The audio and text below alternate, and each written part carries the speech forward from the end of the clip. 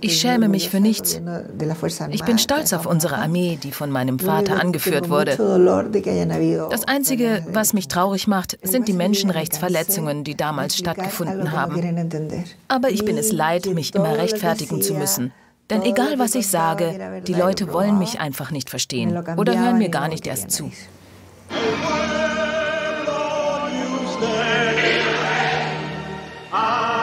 Posible la esperanza.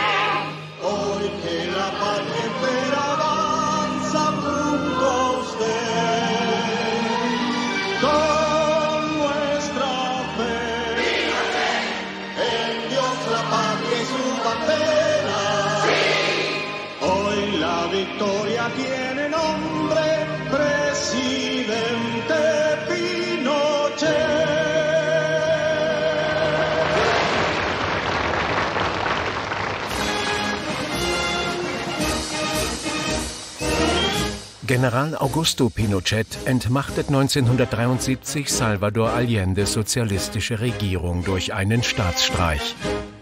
Das neue Regime geht ohne Gnade gegen seine Gegner vor. Mindestens 3000 Menschen werden ermordet und unzählige inhaftiert. Tausende werden gefoltert und Hunderttausende fliehen aus dem Land.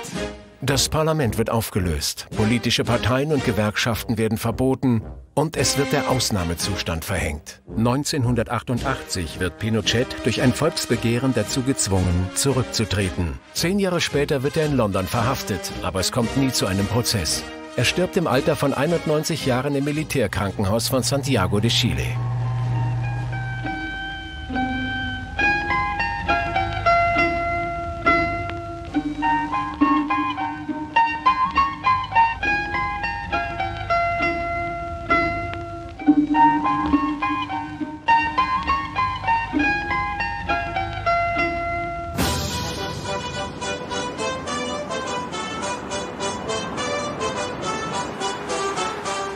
Heute ist Chile hinsichtlich des Pro-Kopf-Einkommens das reichste Land Lateinamerikas. Viele sagen, das wäre die Folge von Pinochets Wirtschaftspolitik. Santiago ist die modernste Großstadt Südamerikas.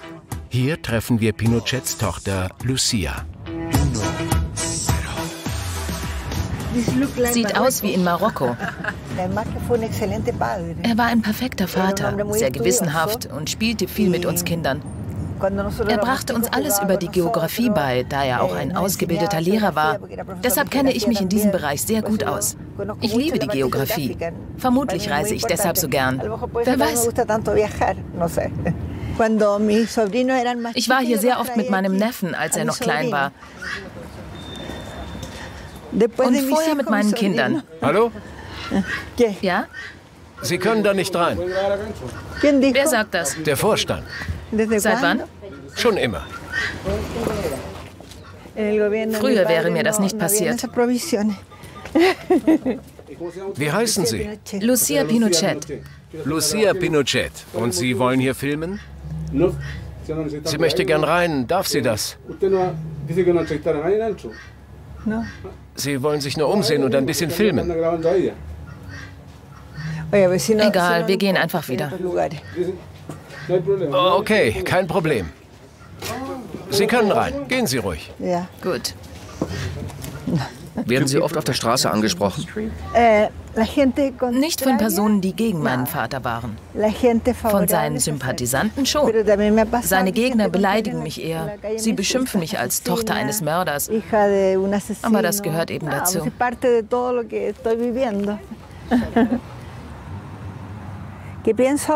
Was ich heute darüber denke? Schwer zu sagen, das ist schließlich 40 Jahre her. Die Realität sah völlig anders aus. Zur Regierung meines Vaters kann ich nicht viel sagen, weil ich kein Teil davon war. Ich war einfach nur die Tochter eines Präsidenten. Und ich verteidige ihn, weil er in meinen Augen ein guter Vater war, der sich für sein Land aufgeopfert hat.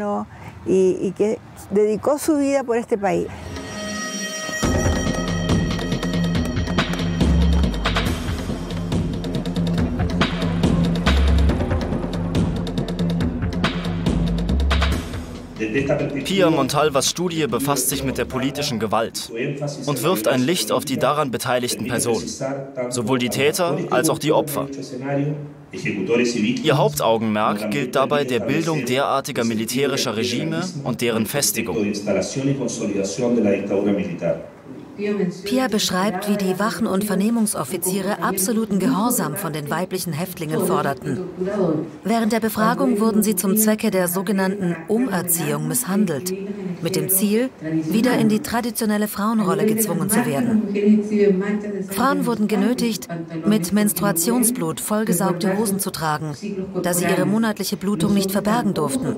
Sowohl Männer als auch Frauen wurden regelmäßig vergewaltigt. Besonders grausam waren sie zu homosexuellen homosexuellen Männern, die enge Kleidung tragen mussten, um feminin auszusehen.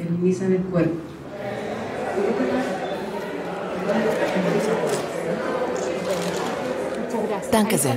Du wirst darin auch erwähnt. Ich weiß nicht, ob ich Lucia Pinochet eine Widmung schreiben würde. Das würde sich irgendwie falsch anfühlen, da sie zur Gegenseite gehörte. Ich habe keine Angst davor, sie zu treffen. Ich will es nur einfach nicht. Mein Bild von ihr wird sich bestimmt nicht mehr ändern. Die Hälfte der Bevölkerung glaubt nicht, dass diese Dinge wirklich passiert sind. Das mag sein. Die Lage hat sich etwas verändert, aber wir haben noch einen langen Weg vor uns. Es gibt viele rechtsgerichtete Leute, die auf ihrer Meinung beharren und sie sicher nicht mehr ablegen werden.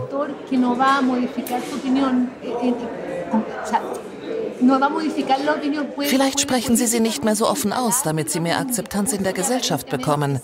Aber Sie glauben dennoch fest daran und es wird wohl kaum zu einem Gesinnungswandel kommen.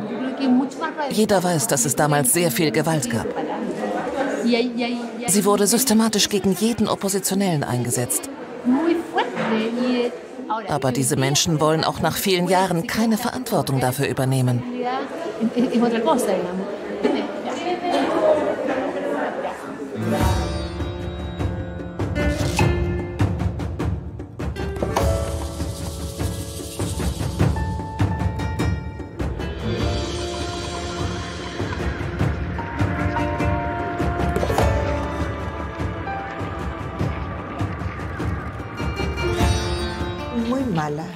Die Ehre Allende war schrecklich für mich.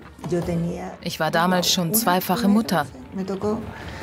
Mein erstes Kind kam 1969 zur Welt, mein zweites 1971. Ich ging damals auf die Universität. Großgrundbesitzer wurden enteignet, also gab es nur noch sehr wenig eh, Agrarland. Und die Sozialisten horteten Lebensmittel, damit sie diese später zu höheren Preisen auf dem Schwarzmarkt verkaufen konnten. Mein Mann kaufte oft sozialistischen Regierungsbeamten Nahrungsmittel ab. Es waren sehr schwere Zeiten. Die Menschen waren aggressiv. Es gab kaum etwas zu essen. Alle hungerten. Man bekam keine Milch für seine Kinder, kein Benzin für sein Auto. Für mich persönlich waren diese drei Jahre unter Allende ein Albtraum. Ich habe mir aus tiefstem Herzen gewünscht, dass er abtreten muss.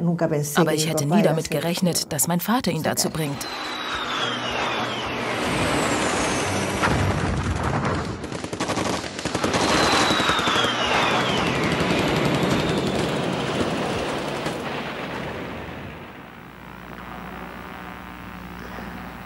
Las Fuerzas Armadas y de Orden han actuado en el día de hoy solo bajo la inspiración patriótica de sacar al país del caos que en forma aguda lo estaba precipitando el gobierno marxista de Salvador Allende. La Junta mantendrá el Poder Judicial y la asesoría de la Contraloría. Las cámaras quedarán en receso hasta nueva orden. Eso es todo. Die Opposition hat verbreitet, dass das Militär nur aus reinem Eigennutz an die Macht kommen wollte und von den USA dazu gedrängt wurde. Die Wahrheit ist, dass die meisten Chilenen Allende loswerden und wieder ein normales Leben führen wollten. Zu Beginn verlangte die Militärjunta dem Volk sehr viel ab, aber diese Opfer waren wichtig für das Land. Eh, und die Bevölkerung hatte nichts dagegen, da sie gerade eine sehr schlechte Regierung hinter sich hatte und auf eine bessere Zukunft hoffte. Mein Vater führte eine Mitte-Rechts-Regierung, die zahlreiche Veränderungen mit sich brachte. Die Verfassung wurde grundlegend reformiert, denn das ganze eh, Land lag in Ruinen. Sie kümmerten sich um Themen wie die Gesundheitsvorsorge, andere soziale Fragen, die Bildung und die Versorgung mit Lebensmitteln. Sie fanden ein ausgeblutetes Land vor und bauten es nach den Prinzipien eines mitte-rechts gerichteten Staates wieder auf. reconstruyeron el país. Cielo, no puedes marcharte así. Yo siento viviré, porque de moriré. Así lo junto a mí.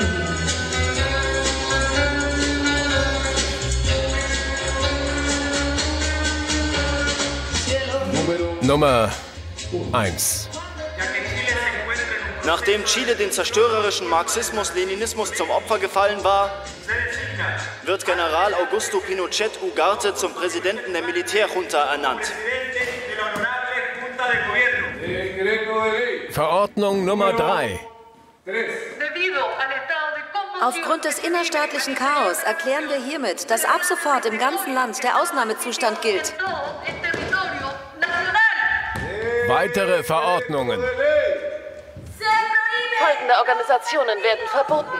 Die Kommunistische Partei, die Sozialistische Partei, die MAPO, die MIR und jede andere Organisation, die die Aktivitäten der Junta unterbinden will. Meine Mutter war ein Mitglied der Bewegung der Revolutionären Linken, die 1965 mit dem Ziel einer sozialistischen Revolution in Chile gegründet wurde. Diese Revolution sollte auf demokratischem Wege durchgeführt werden notfalls aber auch mit Gewalt. Meine ganze Familie war in dieser Partei.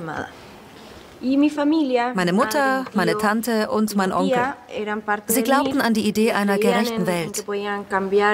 Viele ihrer Freunde und Familienmitglieder wurden während des Staatsstreichs getötet. Zum Beispiel die Eltern meiner Cousins und andere enge Verwandte. el padre de mis primas y miembros de, del círculo más cercano de ellos. Sie töteten auch den Bruder meines Vaters. Daraufhin war mein Vater nicht mehr in der Lage, sich um mich und meine Geschwister zu kümmern. Er hat die Verschleppung und Ermordung seines Bruders nie überwunden.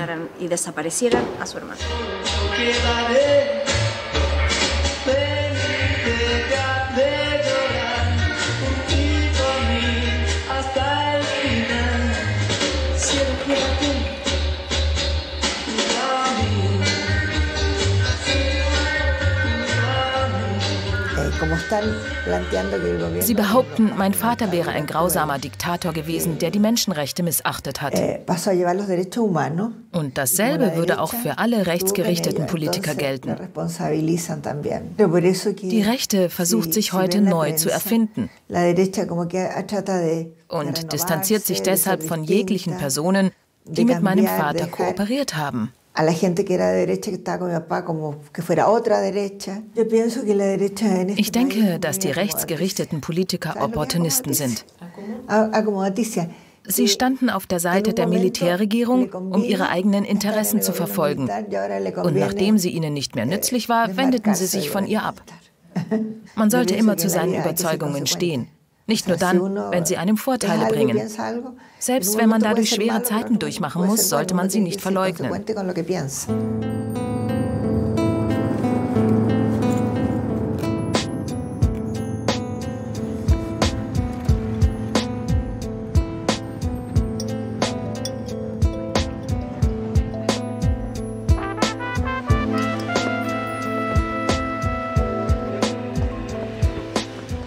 Filmen Sie mich etwa? Das ist der Geburtsort meines Vaters und hier ging er auch zur Militärschule. Er liebte Valparaiso.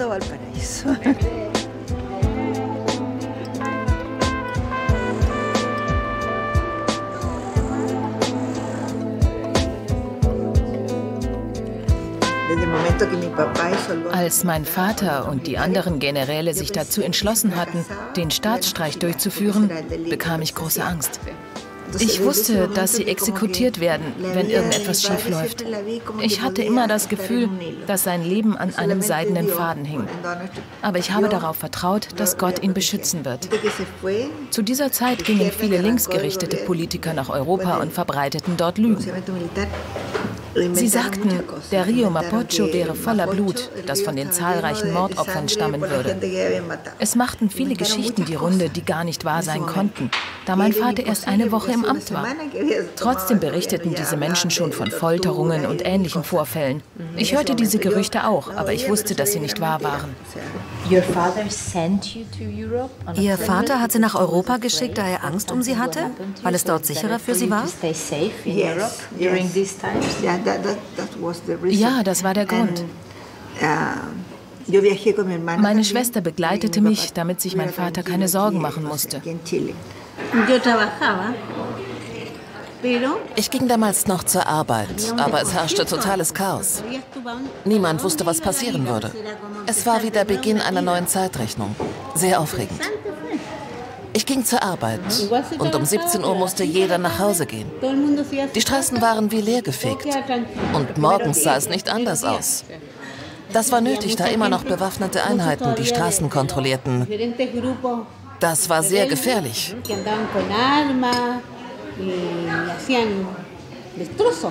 Es gab viele Scharfschützen. Ja, die haben sich in den Häusern versteckt und waren schwer aufzuspüren. Irgendwann wurden alle gefasst und eingesperrt. Nachts hörte man Bombeneinschläge und sie haben die Stromkabel gekappt. Zu Beginn des Jahres wurde es ruhiger. Und die Ausgangssperre wurde auf Mitternacht verschoben. So konnten die Menschen wieder feiern gehen und mussten erst um 12 Uhr nachts zu Hause sein. Als ich aus Europa zurückkehrte, merkte ich, dass sich etwas verändert hatte. Kennen Sie den Begriff Stiefellecker? Nach meiner Rückkehr lernte ich viele Stiefellecker kennen. Damit meine ich natürlich nicht alte Freunde wie Sie. Lucia, hier ist jemand, der Sie gern begrüßen würde. Eine Engländerin? Halbengländerin. Ich habe ihr schon erzählt, wie sehr ich mir gewünscht hätte, ihren Vater kennenzulernen. Danke sehr. Ganz ehrlich. Vielen Dank. Ich danke Ihnen. Ich musste sie einfach begrüßen, da sie mir noch nie begegnet ist. Ich wünschte, ihr Vater wäre bei ihr gewesen. Aber was ist mit den 3000 Menschen, die das Regime von Lucias Vater auf dem Gewissen hat? Sie könnten genauso gut nach den tausenden Opfern auf der anderen Seite fragen. Wir wussten nichts davon. Und heute kann ich nur sagen, das liegt in der Vergangenheit. Man muss nach vorne blicken.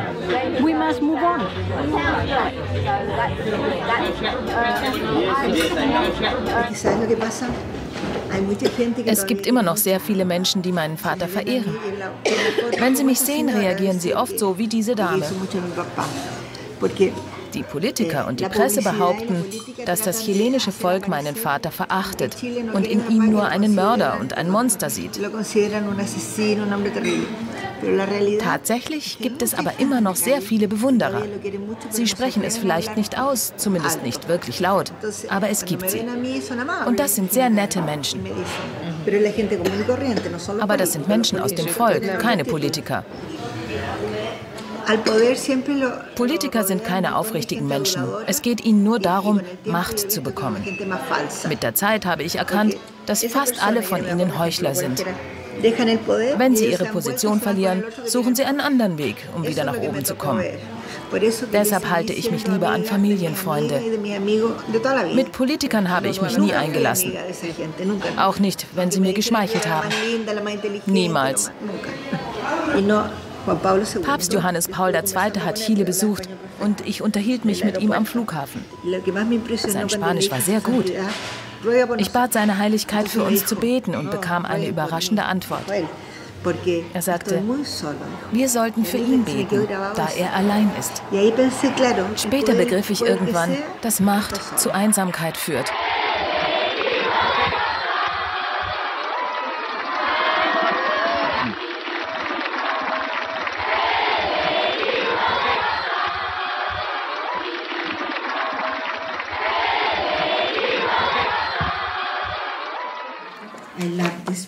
Ein toller Papst. Das sind Journalisten.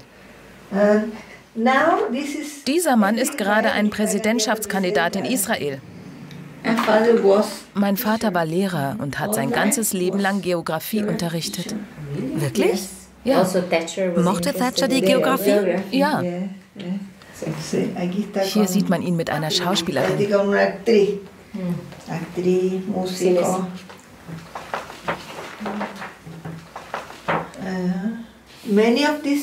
Viele dieser Menschen sagen heute, dass sie ihn nie mochten.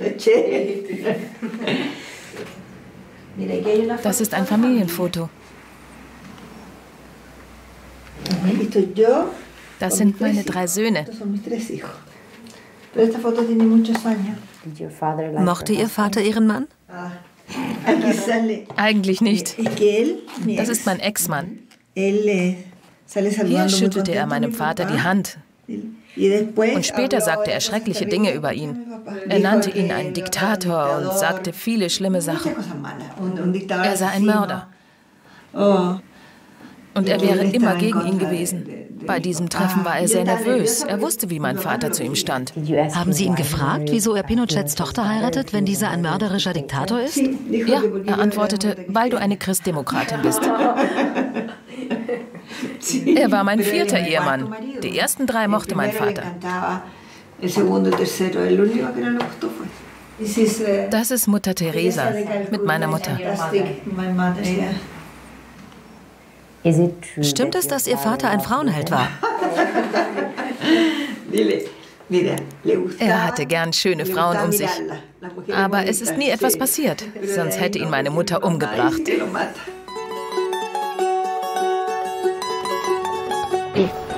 Angenommen, Sie wären nicht die Tochter eines Staatschefs gewesen. Wie wäre Ihr Leben dann verlaufen?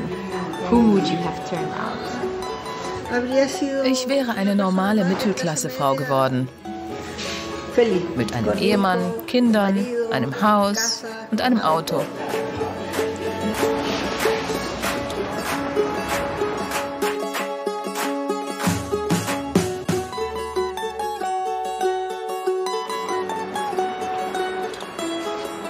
Vorne ist der Lautsprecher.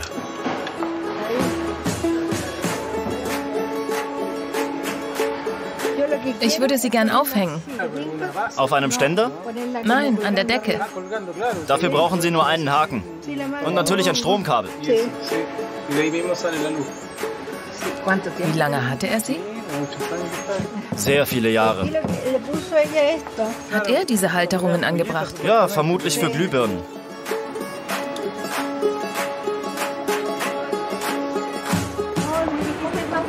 Einen Moment. Grüßen Sie Ihre Mutter von mir. Gern, danke. Die Gauchos nutzen diese Steigbügel heute noch. Hat das mein Vater signiert? Ja, er war bei der Einweihung einer Feuerwache anwesend und meine Freunde wetteten mit mir, dass ich mich nicht trauen würde, zu ihm zu gehen. Sie waren jung und hübsch, er hat sie sicher sofort entdeckt. Ich ging durch die Tür und direkt auf ihn zu, um ihn zu begrüßen. Er sagte zu seinen Leibwächtern, ist euch nicht klar, dass ich jederzeit umgebracht werden könnte? Ihr steht nur da und unternehmt nichts. Sie waren so schön, dass die Leibwächter nicht mehr klar denken konnten. Später gab er mir dann ein signiertes Foto von sich, auf dem er seine Uniform trug. Das stand lange Zeit eingerahmt in meinem Büro. Aber eines Tages schüttete ich Wasser darüber und es war völlig ruiniert. Daraufhin sagte mein Sohn, du hast deinen größten Schatz verloren, du alter Tollpatsch. Die Unterschrift ist verblasst. Hier erkennt man fast nichts mehr. Danke. Es war mir eine Freude, Sie zu sehen. Ich bin die Mutter von Freo de Catania, der am 4. März 1975 verhaftet wurde und nun verschollen ist. Ich bin die Schwester von Nicomedes Segundo Toro Bravo. Ich bin die Frau von Enrique Passiva La Vida, der verschleppt und inhaftiert wurde.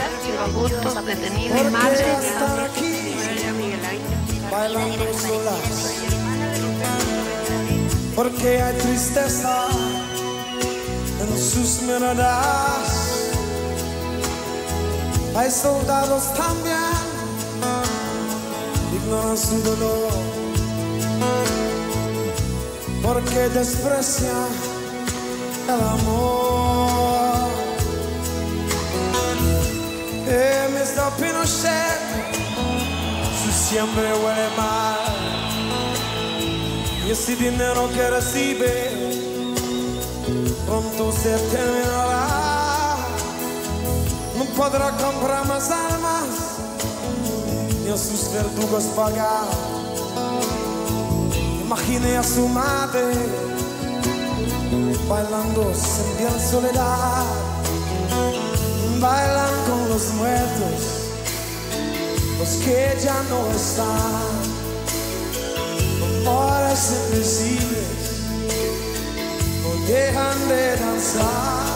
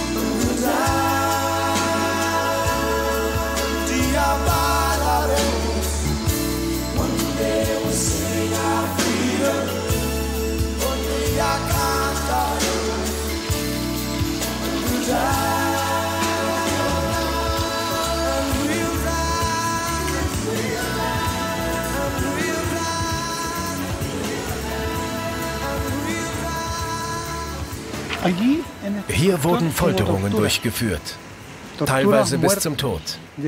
Ganz in der Nähe befindet sich ein Flughafen. Angeblich haben viele Häftlinge, die hierher kamen, diesen Ort nicht mehr lebend verlassen.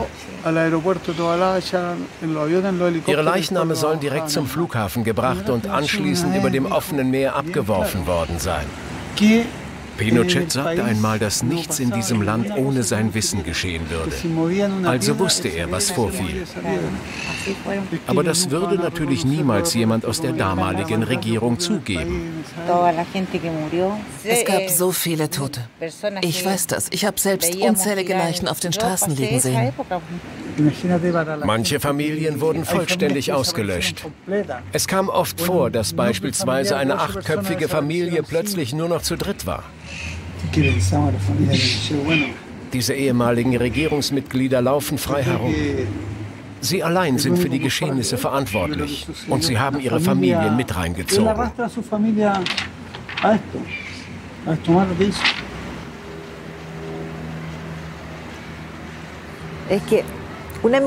Ich war mit der Sekretärin von Senor Castillo befreundet. Castillo sollte Fälle von Menschenrechtsverstößen untersuchen. Eines Tages lud er mich zum Tee ein und sagte, dass er mit mir reden müsse. Er meinte, dass es einen Ort, eine Garnison geben würde, in der Häftlinge gefoltert werden. Ich sagte, dass ich ihm nicht glauben würde, aber er meinte, dass die Nachbarn Schreie gehört hätten. Ich bestand darauf, dass er mich dorthin führt. Mein Mann begleitete mich. Es stellte sich als Lüge heraus, da es dort gar keine Nachbarn gab. Dieses Gebäude war völlig isoliert. Ich ging zum Eingang und man fragte mich nach meinem Ausweis. Ich wartete zwei, drei, vier Stunden und ging schließlich nach Hause. Am nächsten Morgen wollte ich meinem Vater erzählen, was vorgefallen war. Als ich dort ankam, war bereits Manuel Contreras bei ihm, der Leiter des Geheimdienstes. Er regte sich fürchterlich darüber auf, dass ich bei dieser Garnison war. Mein Vater war wütend auf mich und glaubte mir nicht. Damals hatten Frauen keinen Zutritt zu militärischen Einrichtungen. Also sprach ich Contreras auf die Folterungen an und er sagte, dass in militärischen Einrichtungen niemand gefoltert werden würde. Glauben Sie, er hat Sie und Ihren Vater belogen? Oder wurden Sie von beiden belogen? Das werde ich mich wohl ewig fragen. Darauf habe ich leider keine Antwort. Man wollte mir meine Unabhängigkeit nehmen. Ich musste das letzte Universitätsjahr wiederholen. Ich war die Tochter des Präsidenten und sie wollten unbedingt ein Exempel statuieren. Das hat mich einiges gekostet.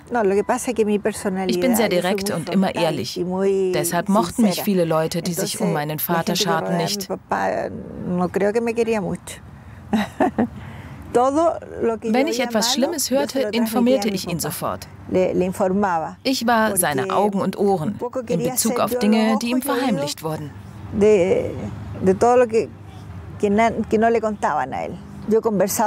Ich habe mit vielen Leuten gesprochen, die im Nationalstadion in Santiago interniert waren. Und alle sagten, ich wurde dort gefangen gehalten, aber ich wurde nie gefoltert. Aber natürlich gab es schreckliche Vorfälle.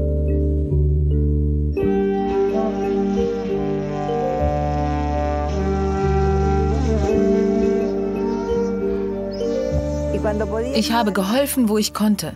Ich habe vielen Menschen geholfen. Sozialisten? Ja. Sie haben ihnen geholfen? Ja. Einige von ihnen waren Freunde von mir. Ich hatte viele sozialistische Freunde. Wenn zum Beispiel in ihrem Pass vermerkt war, dass sie nicht einreisen durften, habe ich mich darum gekümmert. Ich wollte, dass sie die Möglichkeit haben, kranke Verwandte zu besuchen. Äh, Wenn einer von ihnen verhaftet wurde, habe ich mich für seine Freilassung eingesetzt. Ich wollte nicht, dass sie verletzt werden. Solche Dinge eben. Vergessen Sie nicht, dass ich als Tochter keinerlei Macht hatte. Ich hatte nur die Macht der Menschlichkeit. Wer keine Soldaten kennt, wird sicher sagen, na klar behauptet sie das einfach. Aber Militärs denken völlig anders. Sie sind naiv und keine guten Politiker. Militar no está para líder político. Die Politiker sind das eigentliche Problem. Sie lügen, streiten und sind intrigant. Militärs sind überhaupt nicht so. Eh, pelean, intrigan. Entonces, el militar no hace eso.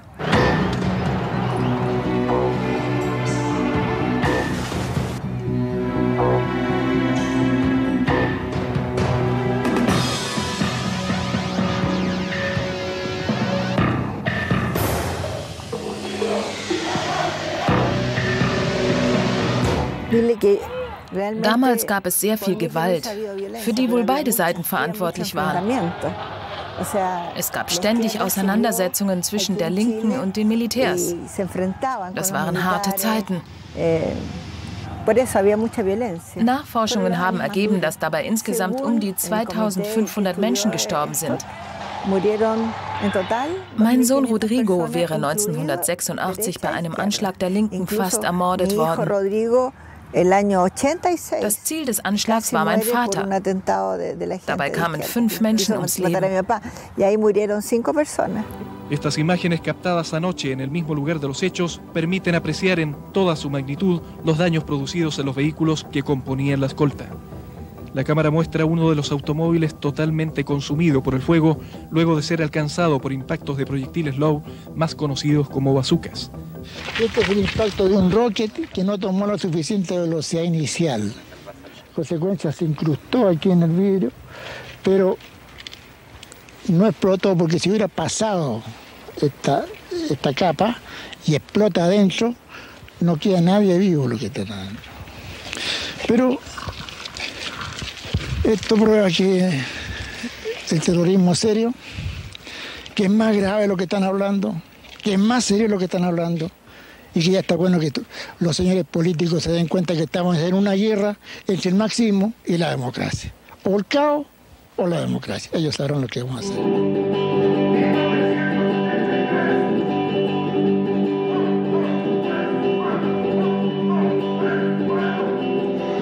Ein weiterer Angriff. Verflucht seist du, Pinochet. Eine dichte schwarze Rauchwolke hüllt die Hauptstadt ein.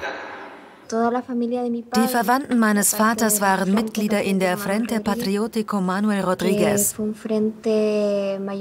eine sehr populäre Untergrundorganisation.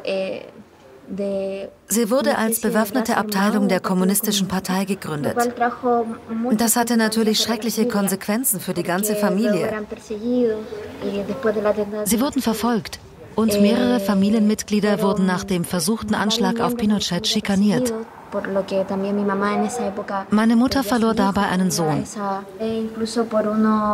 Darüber gibt es zahlreiche Dokumente im Archiv des Vikariats der Solidarität. Mein Vater wurde in ein Auto gezerrt, an einen abgelegenen Ort gebracht, verprügelt und dort zurückgelassen. Aber das hat er mir nie erzählt.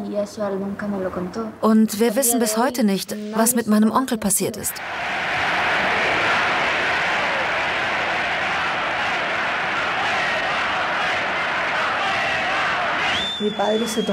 Mein Vater leitete die Regierung gemeinsam mit weiteren Mitgliedern des Militärs. 1980 verabschiedeten sie eine neue Verfassung. Darin wurde festgelegt, dass zehn Jahre später freie Wahlen stattfinden sollten. Und wenn er daraus nicht als Sieger hervorgeht, wird er zurücktreten. Das kündigte er schon 1980 an. No. No. Er erhielt nur 43 Prozent der Stimmen, die Opposition 51 Prozent. Also trat er zurück und übergab den neuen Machthabern einen gut funktionierenden, sicheren und wirtschaftsstarken Staat.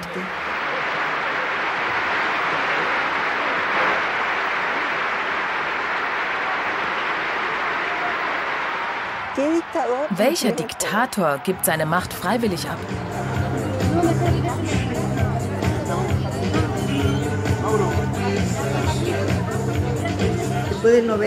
Nach 1990 fing ich an, als Raumgestalterin zu arbeiten und verdiente mein eigenes Geld. Ich führte ein gutes Leben. Einige Jahre später erfuhr ich, dass mein Vater in London verhaftet wurde. Also war ich gezwungen, mich politisch zu engagieren. Ich wollte meinem Vater helfen.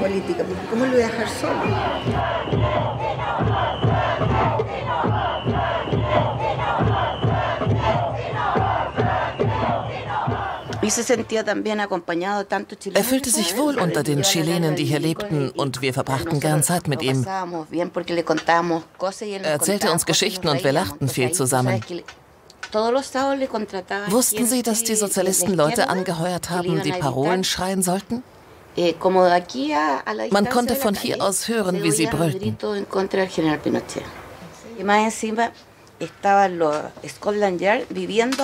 Scotland Yard inhaftierte ihn. Als ich das erste Mal dort war, überprüften sie meinen Ausweis und machten Fotos von mir.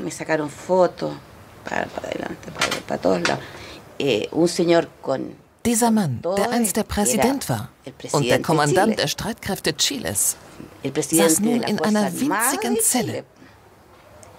Sie war nicht größer als dieser Tisch hier.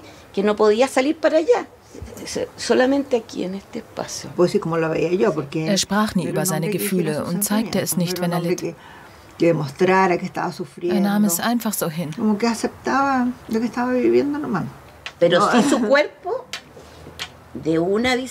Jedes Mal, wenn ich ihn besuchte, sah er schlechter aus. Als ich das zweite Mal dort war, konnte er schon kaum mehr Treppen steigen. Er akzeptierte seine Lage und dachte nicht an seine Gegner. Eh, Sein Glaube an Gott half ihm in dieser Zeit. Er betete oft den Rosenkranz und las sehr viel in der Bibel.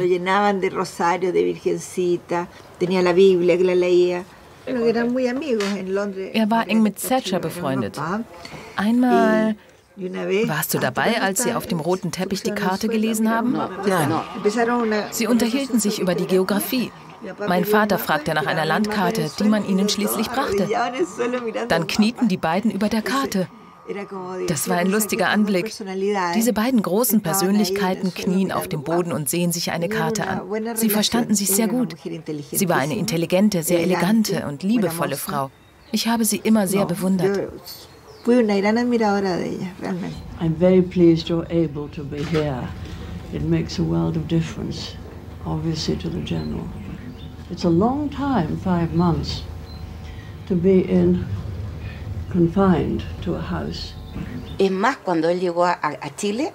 Als er in Chile ankam, sahen seine Gegner einen Mann im Rollstuhl, der kaum gehen konnte. Aber sie hätten ihn am liebsten tot gesehen. Und damit begann die Kampagne gegen ihn. La campaña en contra de él.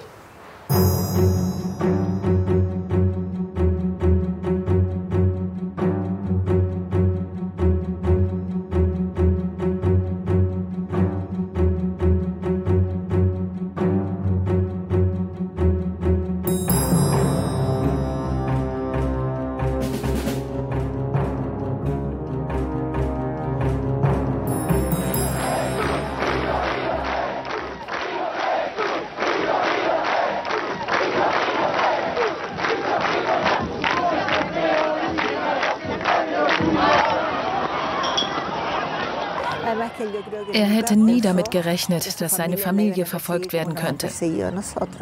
Schließlich hatten wir ja nichts damit zu tun. Niemand von uns hatte ein Amt inne. Aber was sie ihm nicht anhängen konnten, versuchten sie uns anzuhängen. Man unterstellte uns viele Dinge. Äh, Wir wurden wegen Steuerhinterziehung verhaftet. Sie behielten uns drei Tage in Haft und dann sagte man uns, dass wir unschuldig seien. Ah, Trotzdem mussten wir drei Tage im Gefängnis verbringen. Er war in gewisser Hinsicht ein Diktator, aber er hat zur Entwicklung des Landes beigetragen und es später der Demokratie überlassen. Eh, Damit war er eine Art Gegenentwurf zu traditionellen Diktatoren, die für gewöhnlich als Mörder, Diebe und skrupellose Menschen gelten.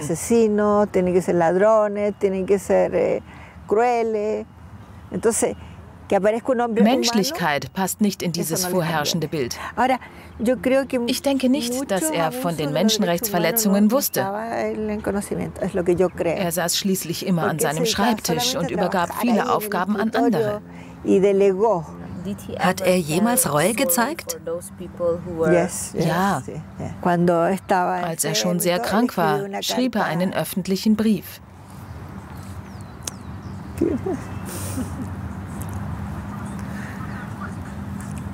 Was stand in diesem Brief?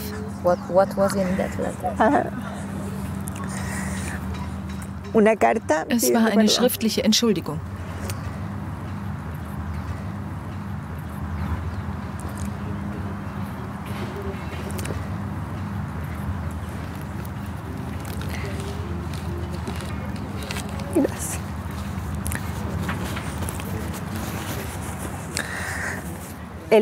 Darin entschuldigt er sich dafür, dass vielen Menschen Leid zugefügt wurde.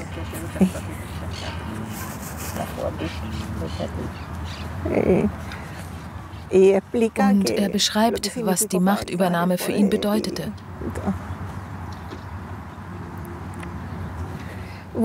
Als der Staat in einem desolaten Zustand war, fühlte er sich moralisch verpflichtet einzugreifen, um dem Land zu helfen. Und das tat er auch. Er hat so gut er konnte regiert, ohne jeglichen Eigennutz oder politische Ambitionen. Während dieser Zeit mussten aber viele Menschen leiden und einige starben.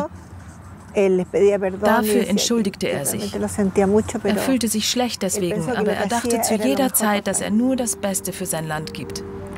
Und so war es auch. Sie haben dem Brief keine Beachtung geschenkt, was sehr schmerzhaft war. Sie sagten, es wäre zu spät.